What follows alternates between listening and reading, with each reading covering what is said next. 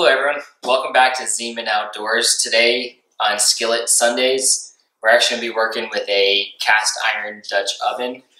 Um, we're going to be doing a dump cake. Um, this has been a family recipe and something that we've always enjoyed growing up. Um, we usually use cherry pie filling. Uh, this time we're going to try strawberry. Um, and so just go through the ingredients. All you really need is a yellow or butter cake, crushed pineapples, a can of pie filling, and then some melted butter. You can do this over a campfire, and it, you do it for the same amount of time, or you can put it in the oven on 350. Uh, given the fact that it's raining today, we're going to do it in the oven. Um, so we'll go ahead and get started. While the oven preheats, we'll go ahead and start getting our ingredients together. So first I'm going to start here with the can of strawberry pie filling. And I'm going to go ahead and get it poured into here.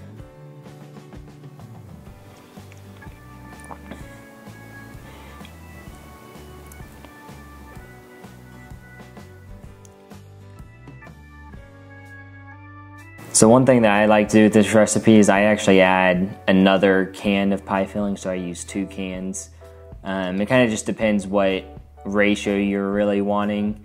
Do you want more fruit to cake or more cake to fruit? You know, you can kind of play with this recipe. Um, so I'll go ahead and pour this in. And that's kind of the cool thing about this uh, recipe is I feel like, you know, everybody kind of has their dump cake recipe and everybody's is unique and you can kind of take this and cater it the way you want. All right, so now we're gonna take the crushed pineapple. I don't drain the crushed pineapple because I think the juice gives it some good flavor. And it also helps the cake mix uh, combine and, and cook.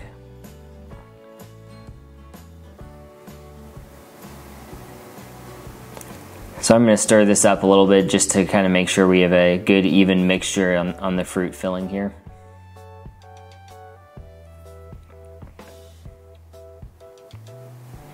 All right, next we're going to take the cake, and I usually use a butter cake or a yellow cake.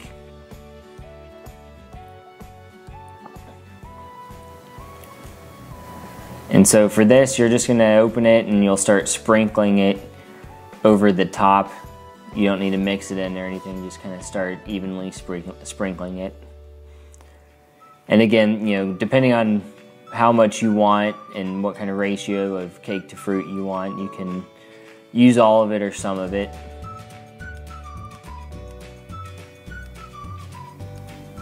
So I'm to even it out a little bit here. And then I guess I'm to go ahead and finish off the rest of the cake mix. So next we're to take the one stick of butter, melted butter, and we're to just drizzle it over the top here. There's no science to this, just kind of drizzle it over, trying to cover as much as you can.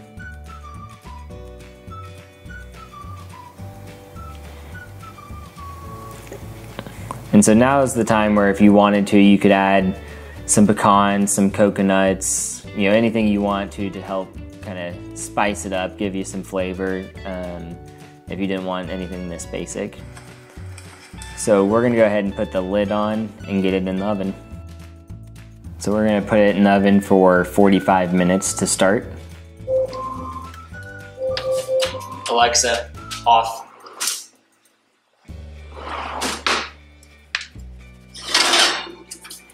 So after 45 minutes, it's not quite done. So we're gonna throw it back in for another 15 minutes.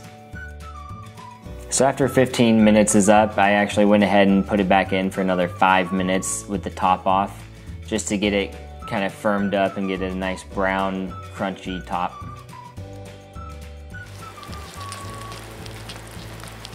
Looks good. So dump cake's always best when it's nice and warm, so I always like to eat it right out of the pot.